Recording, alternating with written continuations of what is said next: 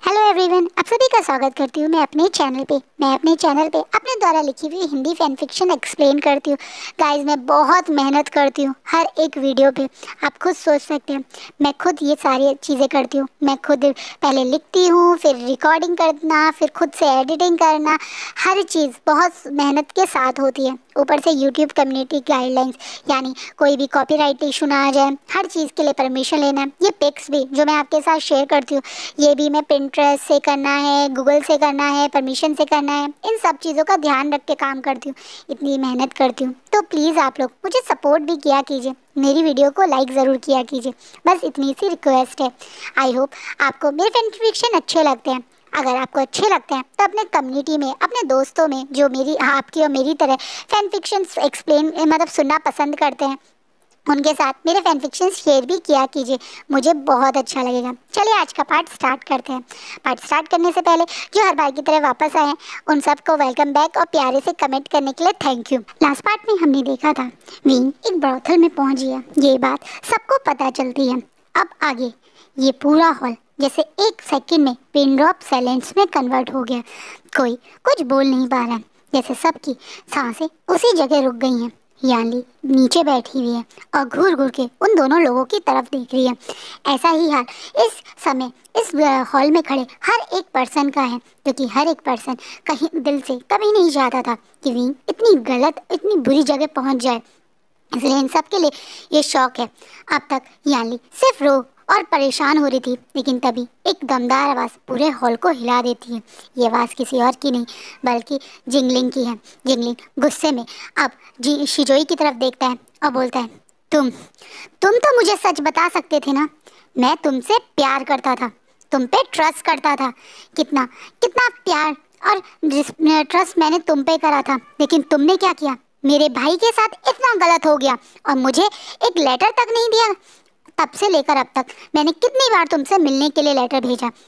तुम्हारे रिस्पांस भी आते थे, लेकिन उन एक भी पत्र में तुमने मेरे भाई के बारे में मुझे क्यों नहीं बताया? जिंगली। इस तरीके से सिजोई पे सबके बीच में चीख रहा है। ये चीज़ यहाँ खड़े कुछ लोगों के लिए शौक थी। सबसे बड़ा शौक तो लैन कुरैन के लिए थी। मैडम लैन के लिए भी शौक थी, क्योंकि मैडम लैन और लैन कुरैन दोनों सिजोई को बहुत प्यार करते हैं। वो एक शरीफ सा शांत सा, हर बात मानने वाला, सबका लाडला बच्चा था। उसकी हर हर किसी की रिस्पेक्ट देने की आदत की वजह से हर कोई उसे बहुत अपना करीब मानता है। तो जिंगलिंग और शिजोई एक दूसरे को प्यार करते थे ये जानकर इन लोगों को भी शौक लगता है। भांजी भी अब शॉकिंग नज़रों से जिंगलिंग की तरफ़ देखने लगते है, क्योंकि उसे तो लगता था कि जिंगलिंग शायद विंग को पसंद करता है। यानली तो विंग को ही पसंद करती थी अपने बेटे के लिए। यही बातें तो उसे पता चली थी। तो ये सारी बातें सुन के उसे एकदम से शौक लगता है। वहीं जिंगलिंग अब गुस्से में बिल्कुल सिजोई के सामने खड़ा है और गुस्से में से घुटते हुए बोलता है, तुम्हें पता है, मेरे भाई ने तुम्हारे को सेव करने के लिए उस दिन भी सबके बीच में यही बोला कि मैं उससे अकेले में मिलने आया था, जब तुम और मैं मिले थे उस कंपटीशन वाले दिन। तब भी मेरे भाई ने अपने से पहले तुम्हारे लिए सोचा था और तुमने क्या किया? मेरे भाई के साथ इतना गलत हुआ। और उसके बाद भी मुझे कुछ बताने की ज़रूरत भी नहीं, समझी? मैं सोचता था कि तुम बाकी लाइन से अलग हो। तुम मेरे भाई को अपना दोस्त भी कहते थे। यही होती है दोस्ती। यही तुमने मेरे भाई के लिए वो प्यार दिखाया था मुझे। झूठा प्यार। तुम्हें मेरे भाई से कभी लगाव नहीं था। तुम तो सिर्फ़ अपने भाई के लिए सोचते थे। इसी कारण तुमने अपने भाई के, जैसे ही उसने उसे इतनी लाइफ से बाहर निकाला, मेरे भाई के बारे में सब कुछ सोचना छोड़ दिया। तुमने क्या सोच के मेरे उस छोटे भाई को उस 18 साल के मासूम को इस क्लैन से अकेले में बाहर जाने दिया? क्या तुम एक बार उसके लिए कुछ नहीं बोल सकते थे? क्यों? क्यों क्या तुमने शिजोई? ऐसे कह के। जिंगलिंग अब शिजोई की तरफ़ घूर रहा है। वहीं शिजोई की आँखों में आँसू है और गिल्ट है। ऐसा नहीं था कि वो आ, बताना नहीं चाहता था। लेकिन वो क्या करे? विंग यहाँ से गया था। मैडम लैन ने विंग के बारे में किस आपस में बात करने से भी सबको मना कर दिया था। शुरुआत में हमेशा मिंग्याओ उन लोगों के आसपास रहता था। तब वो लोग किसी से बात भी नहीं कर सकते थे।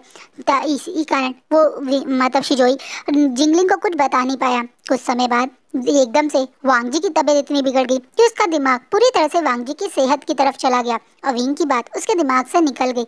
लेकिन हाँ वो गलत था। क्या मतलब कि विंग की दादे में वो भूल गया? अपने भाई को सचमुच में उसने ज़्यादा इंपॉर्टेंस दी। वो दोस्त जो विंग के साथ उसने बनाई थी। वो ऑलमोस्ट उसके बारे में भूल ही गया था। लेकिन जिंगी ऐसा नहीं था। जिंगी, कई बार विंग के बारे में पता करने की भी कोशिश करता था, जिसपे उसे कई बार मैडम लैन से काफ़ी डांट और पनिशमेंट भी मिली थी। लेकिन आज उसे सचमुच में लग रहा है कि वो जिंगी, वो सच, विंग की दोस्ती के लायक ही नहीं था। दोस्त कहलाने के लायक ही नहीं था। वहीं दूसरी तरफ़ ये बात सुनने के बाद वांगी को इतना बड़ा झटका लगा कि विंग ने उस दिन उससे झूठ बोला था। और बार बार जिंगलिंग का ये कहना, मेरा भाई मेरा भाई। कहीं ना कहीं विंग उसे हमेशा सच ही बोलता था। जिंगलिंग तो उसे भाई की तरह याद कर रहा है, भाई की तरह उसके बारे में पूछ रहा है। क्या वो ही अपनी जेलसी में इतना अंधा हो गया कि वो अब दूसरों की बातों पे आकर अपने ही विंग को इतनी बुरी तरह से हर्ट कर गया? कहीं ना कहीं, अब वांग जी अपने ही मन में अंदर से बहुत ज़्यादा खुद को कर्ज कर रहा है, खुद के बारे में खुद को गालियाँ दे रहा है, के सोच रहे हैं कि उसने ये क्या कर दिया। उससे क्या हो गया? वांग जी, अब मन में, अपनी ही सोच में इतना गिल्ट महसूस कर रहा था, लेकिन उसके उसे, उसके गिल्ट से बाहर एक और आवाज़ निकालती है, और ये कोई और नहीं, बल्कि यानली की आवाज़ थी। अब यानली, पहले की तरह, अपने पैरों पे खड़ी है, अपने हस्बैंड के सपोर्ट से, वो खड़े होते हुए गुस्से में सारे लेंस को देख रही है, और बोलती है, जिंग, जिंगिंग, यहाँ से चलो, यहाँ रह के कोई फ़ायदा नहीं है, ये लोग, हम लोगों के दिन बातों को सुन के लायक भी नहीं है आप ये जानने के बाद कि हमारा भी ब्रॉथल में है, मुझसे यहाँ नहीं रहा जाएगा। हमें जल्दी से जल्दी उस जगह पहुँचना चाहिए। अपने प्यारे से आइन को अपने साथ वापस रहना चाहिए। चलो जिंगलिंग, ये कह के याली आज जिंगलिंग को वहाँ से लेकर जाती है। जाने से पहले वो पीछे मुड़ के एक बार लैंड सेक्ट लीडर, यानी लांगवांग जी की तरफ़ देखती है और बोलती है, लैंड सेक्ट लीडर, मुझे यकीन था कि आप मेरे आइन का ध्यान रखेंगे, लेकिन आप मैं समझ चुकी हूँ कि आप उस लायक थे ही नहीं कभी।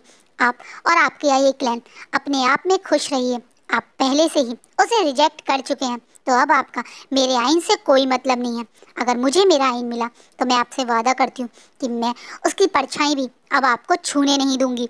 मेरे आइन से जितना हो सके, अब आप उतना दूर रहेंगे आप। ये बात बोलने के बाद यानी गुस्से में वहाँ से निकल जाती हैं। याली को इस समय गुस्सा सिर्फ़ लैंड क्लैन पे नहीं, बल्कि अपने ऊपर भी है।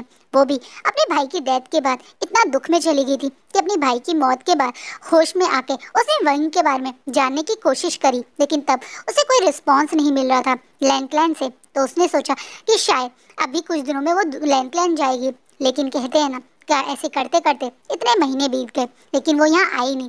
और जब उसे पता चला कि विंग लैंडक्लैंड में नहीं है तो उसे इतना बड़ा झटका लगा जिसकी कोई उम्मीद नहीं थी। वो तो यही सोच रही थी लास्ट टाइम जब विंग से वो मिली थी और विंग ने जिस तरीके से अपने हस्बैंड की उससे तारीफ़ करी थी कि विंग अब खुश होगा अपने हस्बैंड के साथ में। इसी कारण वो बेचारी थोड़ी सी फ्री होकर अपनी लाइफ वहाँ पे बिज़ी कर ली। लेकिन अब उसे अपने ऊपर भी गुस्सा आ रहा है। क्यों? क्यों उसने इतनी बड़ी गलती करी? क्यों नहीं? वो यहाँ आई। क्यों? उसे आइन की जब याद आती थी। तो उससे मिलने नहीं आई। अपने आप को मन ही मन में वो भी गालियाँ दे रही है। वो भी अपने आप को एक गिल्ट में महसूस कर रही है। उस लोगों को जब जब उन लोगों को पकड़ा था, उनसे उस ब्रोथल के बारे में पूछा था तो ये लोग सीधा वहीं पहुँचते हैं। तो इन्हें पता चलता है कि वो ब्रोथल पूरी तरह से डिस्ट्रॉय हो गया जैसे यहाँ पहुँचने वाले ये लोग अकेले नहीं थे, बल्कि वांगी भी वहाँ खुद को रोक नहीं पाया था। उसने उस समय कुरैन को इन दोनों की ज़िम्मेदारी देके वो भी तुरंत कुछ सर, एक तरह से अपने डिसिप्लिन या अपनी आर्मी की छोटी आर्मी के साथ टुकड़ी के साथ वहीं उस ब्रॉथल की तरफ़ दौड़ पड़ा था। वो खुद अपनी आँखों से अपने विंग के बाहर को देखना चाहता था। लेकिन जब वो, यहाँ पहुँचा तो उसे भी वही खबर मिली जो थोड़ी देर पहले यानी और जिन जिन सेक्ट के लोगों को मिली थी। यानी ये ब्रॉथल पूरी तरह से अब बर्बाद हो चुका है। इस ब्रॉथल में को कुछ समय पहले आग लग गई थी। कहा जाता है इस ब्रॉथल में शायद उस दिन कोई भी नहीं बचा था। उस दिन सब लोगों की डेथ हो गई थी। ये बात एक तरीके से जैसे यहाँ सबके लिए और बड़ा शौक थी। पहले विंग को इस ब्रॉथल में होना और अब इस ब्रॉथल में किसी का ना जीवन ज़िंदा होना एक बहुत बड़ा बहुत बड़ा शौक था सबके लिए। विंग की डेथ की खबर जैसे एक तरीके से और ज़्यादा लोगों को उसके गिल्ट में डुबा चुकी है। जब वांग जी अब वापस लैंडक्लैन पहुँचता है तो वो एक डेड बॉडी है। एक ऐसी डेड बॉडी जो सिर्फ़ चले जा रही है, ना कुछ बोल रही है, ना कुछ रिएक्ट कर रही है, बस सांस ले रही है और कुछ नहीं बचा इस शरीर में। ऐसा हाल हो गया है वांगजी का। वांगजी को ऐसे हाल में देखकर अब लान कुरैन और मैडम लैन दौड़ के उसके पास पहुँचती हैं। लान कुरैन जाना चाहती है। विंग कैसा है? आज पहली बार मैडम लैन की आँखों में भी एक वरी है, एक चिंता है, जानने की इच्छा है। विंग कैसा है? लेकिन वांगजी के मुँह से कोई शब्द नहीं निकलते। वो सीधा एक मूर्ति की तरह अपनी जिनशी में पहुँच जाता है। बिना किसी से कुछ बात करें, बिना किसी की तरफ़ देखे, बिना कुछ बोले, वो लोग जो वी, लांग जी के साथ विंग को ढूँढने गए थे, वो लोग अब कुरैन और मैडम लैन को बताते हैं कि ब्रोथल को आग लग गई है और कहा गया जाता है कि उस दिन ब्रॉथल में जितने लोग थे, उनमें से कोई नहीं बच पाया। सब लोग मर चुके हैं। ये बात सुनने के बाद तो लान कुरैन भी अपने घुटनों पे आ जाते हैं। वहीं मैडम लैन भी शौक में अपनी पीछे की तरफ़ जाती है। वो सब जानते हैं कि उनसे बहुत बड़ी गलती हो गई मैडम लैन, आज पता नहीं क्यों, अभी इनको याद करके मन में बहुत गिल्टी हो रही है। उस बच्चे ने कभी उनके साथ कुछ गलत नहीं किया, कभी उन पर गुस्सा नहीं करा।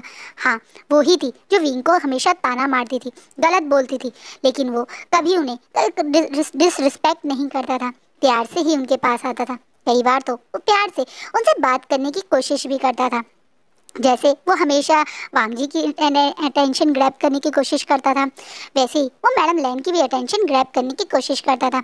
उनसे प्यारी भरी बातें करना चाहता था उनकी अटेंशन ग्रैप करना चाहता था। वो चेहरा, वो बातें। अब मैडम लैन को जैसे हॉन्ट कर रही हैं, जैसे मैडम लैन को वो बातें उनको अंदर से, उनको छोड़ रही हैं। जैसे एक आदमी के आसपास आत्मा घूमने लगे और जितना उसे अंदर से डर लगता है, ऐसा ही यार मैडम लैन का है। वो यादें मैडम लैन के चारों तरफ़ घूम रही हैं। वो बातें, विंग का वो प्यारा सा चेहरा, विंग का बार बार उन्हें मैं कई बार मदद कहने की कोशिश करना, वो सब बात अब मैडम लैन को बहुत डरा रही हैं। आते हुए, डरते हुए अपने रूम तक पहुँचती हैं। तो वहाँ पे मैडम मिंग और मिंग्याओ उनका वेट कर रहे थे। मैडम मिंग और मिंग्याओ पूछते हैं। तो मैम लैन अब रोते हुए बताती हैं कि विंग की डेथ हो गई है। एक बार के लिए मैडम लैन की ये हालत देख के मैडम मिंग और मिंग्याओ भी शॉक हो जाते हैं। मैडम लैन, बहुत बुरी तरह से रो रही हैं। घुटनों पे बैठ के, जैसे वो अपने आप को बार बार कर्ज करे। ये मैंने क्या कर दिया? मैंने क्या कर दिया? मैं मैं मैं मर्डरर बन गई। मैंने मैंने उस बच्चे की जान ले ली। ये मैंने क्या कर दिया? मैडम लैन, जब ऐसे बोल रही हैं तो एकदम से मैडम मिंग उन्हें संभालती हैं अब बोलती हैं, ये आप क्यों अपने आप को दोषित करें? आप भूलो मत। आपकी लाइफ को बर्बाद करने वाली, उसकी ही मदर थी। उसकी मदर के कारण आपने कितना सफ़र किया है। वो उसकी डेस्टिनी थी, जो उसके साथ हुआ। आपको दुखा, दिल दुखाने का, आपको पेन में रखने का, उसे पनिशमेंट मिली है, जो खुद भगवान ने दिया आपने थोड़ी उसे मारा है, वो तो खुद मरा है। अब उसके साथ यहाँ से निकलने के बाद क्या हुआ? उसके लिए आप रिस्पॉन्सिबल थोड़ी थी। आप अपने आप को ऐसे मत कहिए। मैडम लैन को, अभी भी मैडम मिंग उल्टी ही पट्टी पढ़ा रही हैं। वही मिंग्याओ, खुद शौक खड़ा है। मैं मिंग्याओ को भी इस चीज़ का आइडिया नहीं था, लेकिन है तो वो भी मैडम मिंग का बेटा तो वो भी मैडम लैन को संभालते होते आप ऐसा नहीं कर सकते, आंट। आप इस समय वीक नहीं पड़ सकते। यही सही मौका है। आपको वांगजी को संभालना चाहिए। आप इस समय वांगजी को संभालेंगी तो चीज़ें संभलेंगी, वरना सब कुछ बिगड़ जाएगा। आपको और हमें कोई आइडिया नहीं है। यहाँ से निकलने के बाद उस विविशान के साथ क्या हुआ? वो उसकी डेस्टिनी थी, जो उसके साथ हुआ। आपने और हमने थोड़ी ये सब किया है, जो उसकी किस्मत में था, उसके साथ हो गया। आप उसके लिए खुद को जिम्मेदार मत मानिए। चलिए, हम अभी वांग जी के पास चलते हैं। उस समय वो बहुत कमज़ोर, बहुत ब्रोकन स्टेज में होगा। उसे ज़रूरत है आपकी और मेरी। चलिए, जल्दी चलिए। मैडम लैन को संभालते हुए, उठाते हुए मिंगाओ उन्हें लेके वहाँ से जाने ही वाला था। लेकिन इस बार डोर पे कोई खड़ा है जो घूर घूर के उन दोनों को देख रहा है। ये कोई और नहीं, बल्कि शिजोई है। सिजोई, अब मैडम लैन और मिंगाओ को वहीं रोकते हुए बोलते हैं, आप लोग गगा के पास नहीं जाएँगे। इस बात पे मिंगाओ गुस्से बोलता है, तुम कौन होते हो अपनी उस वांगजी को, उसकी मदर से रोकने वाले? तुम्हें पता है ना वांगजी की इस समय क्या हालत होगी? हमें उसके पास जाना चाहिए। इस बात पे एकदम से मिंग्याओ बोलता है हाँ हमें पता है इस समय गगा की क्या हालत होगी, लेकिन आप उनके पास नहीं जा सकते, क्योंकि ये फैसला लैंडसेक्ट लीडर का है। इस समय लैंडसेक्ट लीडर मेरे फादर हैं और मेरे फादर ने आप दोनों को वांगजी से मिलने से मना किया है। हम अभी भी लांग वांगजी की लास्ट डिसीज़न जो उन्होंने फादर को बोला था, उस पर काम कर रहे हैं। मेरे फादर तुरंत शुयांग और शुयांग की मदर को यहाँ बुला रहे हैं। और आप दोनों भी यहीं रहेंगे, जब तक पूरा फैसला नहीं आ जाता। आप आप दोनों जब तक आपके मतलब वांगी वुशान का वो केस जो लास्ट में हमने बिना पूरी तरह से पता करे फैसला दे दिया था, उस केस के बारे में, जब तक हमें सब कुछ नहीं डिस्कशन हो जाता, तब तक आप लोग कहीं नहीं जाएँगे। इस बात पे अब मिंग्याओ के पसीने छूटने लगते हैं। वहीं दूसरी तरफ़, मैडम लैंड तो शौक में ही है, क्योंकि क्या उनके बेटे को उनसे नहीं मिलाया जा रहा? क्या उन्हें गिल्टी समझ के इस कक्ष में बंद नज़र बंद कर दिया गया है? हाँ गुलान कुरैन ने अब यही किया है गुलान कुरैन बहुत दुखी हैं विंग की डेथ से। लेकिन जब उन्हें विंग की डेथ का पता चला, दुखी मन से जो आवाज़ सबसे पहले आई, वो यही आई कि उन्हें विंग को न्याय दिलाना चाहिए। कहीं ना कहीं, अब ये सारी बातें लान कुरैन को किसी की बहुत बड़ी एक होता ना कॉन्स्पेरेंसी यानी कोई चाल के लग रही है, उन्हें लग रहा है कि कहीं ना कहीं कुछ ना कुछ गड़बड़ है। अचानक से जिनलिंग का ये बोलना कि वो शिजोई को पसंद करता है। मैं कहीं ना कहीं कुरैन को लग रहा है कि वो यहाँ बस घूम रहे थे। उनकी आँखों के सामने बहुत कुछ हो रहा था, लेकिन उन्हें दिख नहीं रहा था। उन्हें अब ये भी चीज़ लग रही है। अब वो हर चीज़ जानना चाहते हैं। सबसे पहले तो वो की डेथ के पीछे, जो भी उसके साथ हुआ, यानी यहाँ से निकलना, उसके बाद उसका ब्रॉथल तक पहुँचना, उस सब के लिए खुद को भी जिम्मेदार मान रहे हैं। कहीं ना कहीं सब लोग अपने गिल्ट को ख़त्म करना चाह रहे हैं। कुरैन भी अपने गिल्ट को ख़त्म करना चाह रहे हैं। यही सोच के कि कम से कम वो उसे न्याय तो दिला ही सकते हैं। क्या हुआ था उस रात में? उसके बारे में सही से जज तो वो अब नहीं कर पाए। लेकिन अब वो मौका है सब कुछ जानने का। इसलिए उन्होंने तुरंत अपने कुछ डिसिप्लिन या एक तरह से कह सकते हैं गार्ड्स को शू क्रैन जाके शू यांग और उसकी मदर, यानी मैडम शू को तुरंत लाने के लिए बोला है, जिसके कारण वो जिस बारे में सबके बीच में डिसीज़न लेंगे। वांगजी तो अपने ही दुख में अपने अंदर डूब रहा है, लेकिन वो ऐसा नहीं कर सकते। जब तक वांगजी फुल फ्लैश पहले की तरह लैंडक्लैंड सेक लीडर नहीं बनता, तब तक वो ही सेक लीडर है। और जब तक वो सेक लीडर है, वो ये चीज़ करना चाह रहे हैं। उन्होंने इसी कारण मतलब सॉरी शिजोई को मैडम लैंड और मिंग्याओ पे नज़र रखने के लिए बोला था। मिंग्याओ को और मैडम लैन को किसी से ना मिलने के लिए बोला था। वो यही कारण था, क्योंकि वो नहीं चाहते थे कि सचमुच में कुछ अगर इन लोगों ने प्लानिंग करी है तो वो किसी से मिलके कोई नए सबूत जोड़ सके या कोई सबूत खराब कर सके। इसी कारण यहाँ पे शिजोई मैडम लैन और मिंग्याओ पे नज़र रखने ही आया था। मैडम लैन और शिजोई मतलब मिंग्याओ को इसी कारण शिजोई रोक रहा है।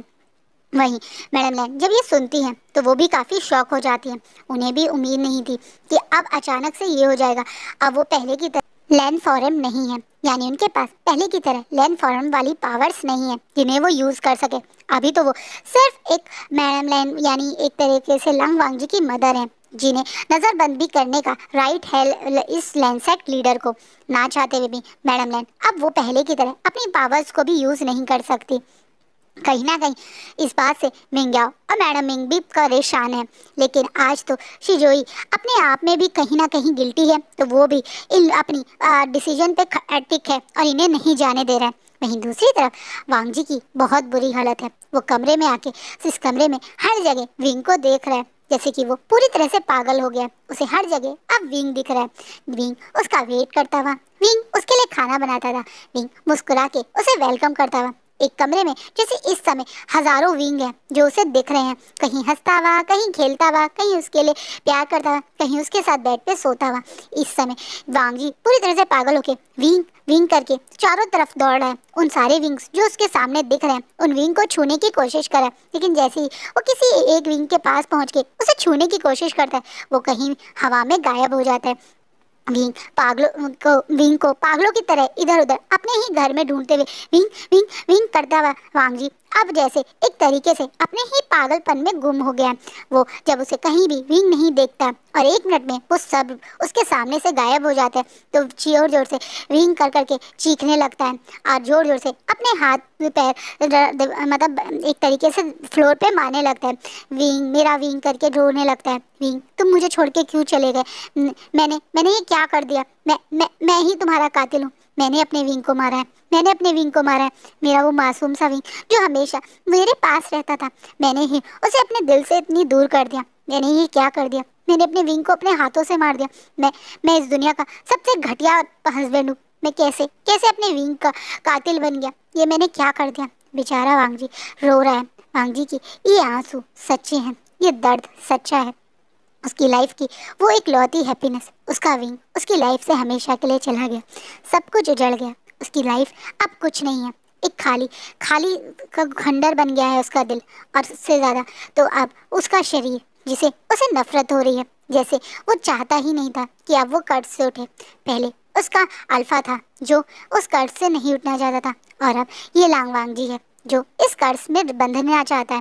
वांग जी, ना चाहते हुए भी अब अपने आप को मारने की अटैम्प्ट करने की सोच रहे हैं। उसे लग रहा है कि ये शरीर, अब उसका कोई फ़ायदा नहीं। इसे रहने थे यही सोच के वांग मतलब एक तरह से वांग जी कुछ करता या कुछ करने की सोच ही रहा था।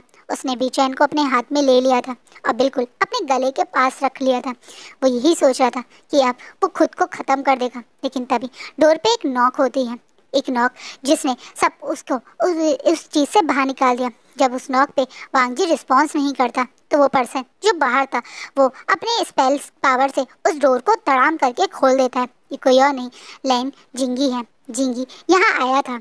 हाँ शिजोई, मैडम लैन को और मिंगाओ को देख रहा है। वहीं लान कुरैन का ध्यान पूरी तरह से इस विंग को एक तरह से न्याय दिलाने पर है।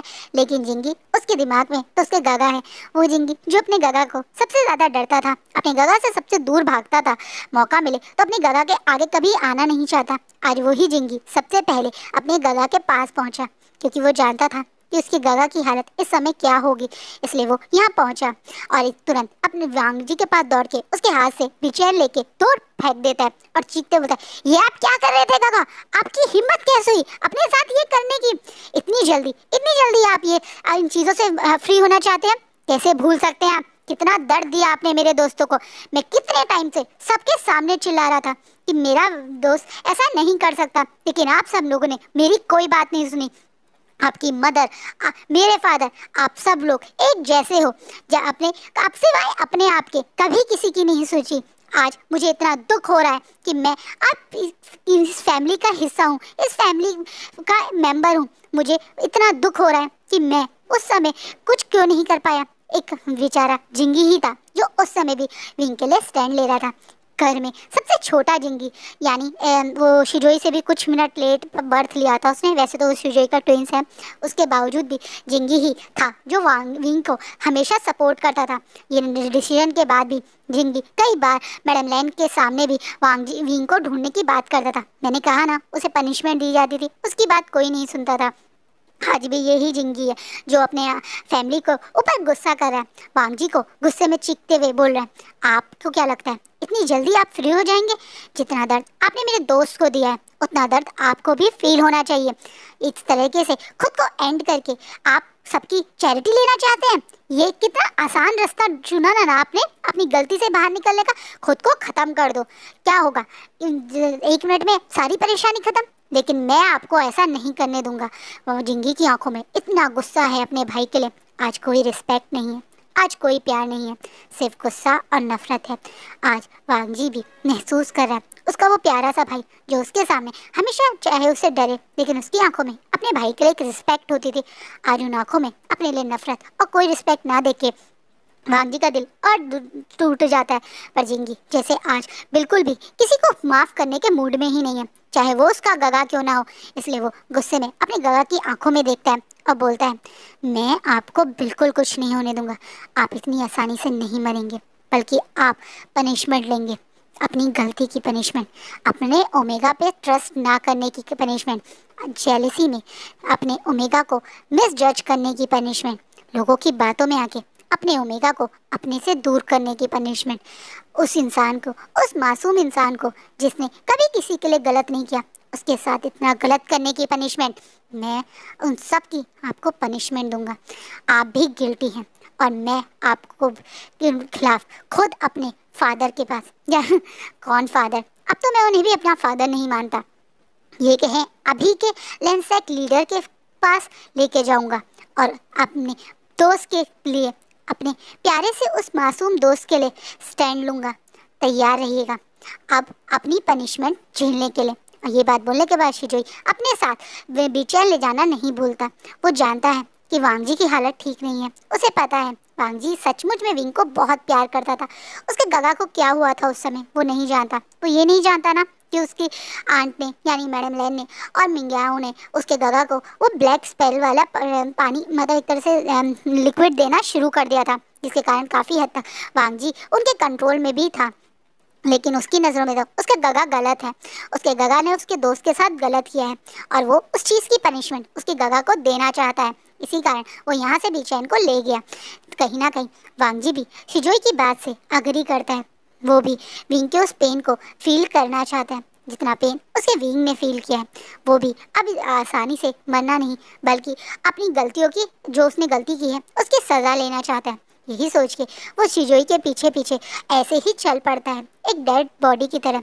वैसे भी वांगी के फेस पे कोई एक्सप्रेशन नहीं होते थे, लेकिन उसका वो और वो स्ट्रॉन्ग और जो हमेशा वो कैरी करता था, चलते हुए जो उसका ब्रॉड शोल्डर्स होते थे, जिन्हें वो मेंटेन करके, एकदम चेहरा स्ट्रेट रख के, एकदम डिसिप्लिन वे में चलता था। आज वो भगवान जी ऐसा पागल सा, कमज़ोर सा इंसान लग रहा है, जिसका मुँह नीचे झुका हुआ है, उसके कंधे नीचे हुए हैं, और जैसे वो अपने भाई के पीछे एक पागल इंसान, जैसे इधर उधर मतलब बिल्कुल कोई एक डेड बॉडी टाइप वैसे चलते हुए जा रहा है। वहीं जब वो लोग हॉल में पहुँचते हैं तो नज़ारा कुछ अलग ही है, क्योंकि अब हॉल में शुयांग और उसकी मदर मैं, आ चुके हैं। वहीं जहाँ पे पहले वांगजी बैठता था, उस जगह अभी लान कुरैन बैठे हैं। शिजोइक भी तुरंत मैडम मिंग मिंग याओ और मैडम लैन के साथ उस हॉल में पहुँचता है। अब एक तरीके से लान कुरैन, वो मैजिक स्पेल जो उन्होंने अभी थोड़ी देर पहले उन दोनों अल्फ़ा पे लगाया था, तुरंत। वो स्पेल एकदम से मिंग शुयांग के ऊपर लगा देते हैं। शुयांग, दूसरे क्लैन का है तो उस पर यह स्पेल लग सकता है। लैन क्लैन वाले लोग अब अपने ऊपर ये स्पेल नहीं लगाते थे, क्योंकि वो लोग कभी झूठ बोलते ही नहीं है, उन्हें यही लगता है। लेकिन आज सब सच सामने आना ज़रूरी है। उस दिन भी ये स्पेल था, पर क्यों नहीं यूज़ किया गया? उस दिन भी तो ये लोग ये सब चीज़ें कर सकते थे, पर क्यों नहीं करा? ये चीज़ कहीं ना कहीं इन लोगों की गलती है। अब क्या फ़ायदा? जब वो इंसान इनकी लाइफ से हमेशा के लिए चला गया, अब क्या फ़ायदा? ये ढोंग, ये ड्रामे करने का। यही बात आज जिंगी चीख के बोलता है अपने भाई फादर की तरफ़, अपने भाई की तरफ़ देखते हुए, अपने चेहरे पे एक कनिंग स्माइल लगता हुआ बोलता है, क्या बात है? जब वो इंसान यहाँ था, तब आप लोगों को उसकी याद नहीं है? इतने टाइम से मैं चीख चीख के बोलता रहा कि कुछ ना कुछ गड़बड़ है। वहाँ विंग ऐसा नहीं कर सकता। तब आप में से किसी ने मेरे पे भरोसा नहीं किया। आज जब वो इंसान इस दुनिया में नहीं रहा, तब आप लोगों को याद आई है। आपको क्या लगता है, फादर? आप सच सामने लाके क्या कर लेंगे? क्या आप मेरे दोस्त को वापस ला पाएँगे? ये सब नाटक अब करके क्या फ़ायदा? क्या उस दिन ये स्पेल यूज़ नहीं हो सकता था? तब आप सब लोग कहाँ थे? क्या कर रहे थे? जिंगी अब चीखते हुए सबके बीच में बोल रहा है इस तरीके से आवाज़ तेज करना, अपने बड़ों पे चिल्लाना लैंडक्लैन सेक्ट रूल के खिलाफ है। इसी कारण तुरंत एक सीनियर अपनी जगह उठ के, अब जिंगी की तरफ़ देखता है और बोलता है लैंड जिंगी ये तुम क्या कर रहे हो? तुम रूल तोड़ तुम्हें पता है तुम्हें इसकी पनिशमेंट मिलेगी। आप जिंगी ज़ोर ज़ोर से हंस के उस सीनियर की तरफ़ देखता है अब बोलता है, यही तो करना आता है आप सबको। सही चीज़ को, सही बोलना यहाँ पे पनिशमेंट दिला देगा। लेकिन एक गलत चीज़ के ऊपर किसी मासूम को सज़ा दे के बाहर निकाल देना। उसका क्या करेंगे आप? मैं गारंटी से बोल सकता हूँ, सबके बीच में बोल सकता हूँ। मेरा दोस्त बेगुनाह था। वींग भूशियान बेगुनाह था। लेकिन आप सबने उस बेगुनाह के साथ जो सब किया है, उसके बाद आप लोग क्या क्या करेंगे? क्या पनिशमेंट देंगे आप लोग एक दूसरे को? मुझे तो ये देखना है। मैं हर पनिशमेंट के लिए तैयार हूँ। बचपन से लेकर अब तक जितनी पनिशमेंट मिली, उन सबको लेते हुए मुझे कभी खुशी नहीं मिली। लेकिन आज जो पनिशमेंट मुझे मिल रही है, उससे मैं बहुत खुश हूँ। मैं कोई गलती नहीं करा। इसलिए मैं खुशी खुशी से ये पनिशमेंट भी लूँगा, जो आप मुझे देंगे। लेकिन उससे पहले मैं जानना चाहूँगा अगर ये एक चीज़ साबित हो गई कि विभूषण गलत है तो आप लोग क्या एक दूसरे को पनिशमेंट देंगे? कहीं ना कहीं, ज़िंदगी की बातें यहाँ हर किसी के दिल पे एक तीर की तरह लग रही हैं। ये मासूम सा ओमेगा, जो इन सबके बीच में था, जिसे इन्होंने धक्के मार के बाहर निकाल दिया। उसकी बात है उसे बिना बात के अगर सज़ा दी है तो क्या करेंगे ये लोग?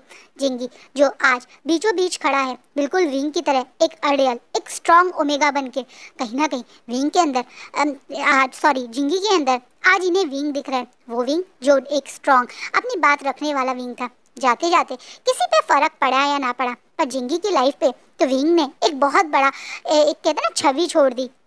जिंगी। आज बिल्कुल, वहाँ विंग की तरह ही लड़ रहा है। सबके बीच में खड़ा हुआ है। विंग की तरह अब स्टैंड ले रहा है। ये देखकर कहीं ना कहीं लैंड कुरैन को मन में खुशी हो रही है। कहीं ना कहीं आज उनका बेटा रूल तोड़ रहा है। लेकिन उनके मन में खुशी है कि जिंगी इन सबसे अलग था। इन सबसे ज़्यादा स्ट्रांग था, जो हमेशा शरारत और बदमाशी करता था। इन सब की नज़रों में कहीं से भी आइडियल नहीं था। वही इंसान सबसे सही था। ये कैसे सर्टिफिकेट लेके घूमते हैं कि भाई ये आइडियल है क्योंकि ये सारी बातें मानता है। चाहे अंदर से कितना काला हो इंसान और वो इंसान जो सामने खड़ा है गलत सही को सही और गलत को गलत बोल रहे हैं, वो लोग गलत, उसे गलत मान लेते हैं। यही करते हैं ना लैंड क्लैन वाले। आज कहीं ना कहीं लैंड क्लैन को अपने ही डिसिप्लिन अपने ही रूल पे क्वेश्चन उठाने पड़ रहे हैं। एक छोटा सा ओमेगा, उस सत्रह साल का ओमेगा, कुछ पल में ही इन सब की जड़ें हिला गया। इतनी हिम्मत थी उस छोटे से ओमेगा में, जिसे इन्होंने यहाँ से बाहर निकाला। लेकिन आज उसे याद करके ये सब लोग अपने ही मन में, अपने ही गिल्ट में दबे जा रहे हैं। इनके इस गिल्ड को बाहर निकालने का इन्हें बस एक ही सोल्यूशन मिल रहा है विंग को जल न्याय दिलाना। और इसी बारे में सोच के अब लान कुरैन तुरंत बोलते हैं जिंगी हम तुम्हारे बारे में बाद में सोचेंगे, लेकिन पहले हमें जो काम करना है, वो करते हैं। तुम बताओ शुयांग तुमने ही सबके बीच में बोला था ना? विंग ने तुम्हें वहाँ बुलाया था। अब सच सच बताओ, क्या हुआ था उस दिन? कहीं ना कहीं, अब शुयांग जो खुद इस पहल के अंडर में है, वो झूठ बोलने की कोशिश भी कर रहा है तो उसके मुँह से झूठ नहीं निकलना है। और अब मेरे मुँह से भी कुछ नहीं निकल रहा है। बहुत टायर्ड हो गई हूँ मैं, लगातार बोलते बोलते। तो आज का पार्ट हम यहीं रोकते हैं। कल का पार्ट कोशिश करूँगी थोड़ा बड़ा बनाने की। कल के पार्ट में बहुत कुछ होने वाला है। तो कल के पार्ट के लिए एक्साइटेडमेंट बनाए रखना। और जैसा लगा आज का पार्ट, ज़रूर बताना। और हाँ प्लीज़ मेरी वीडियो को लाइक ज़रूर करना। Thank you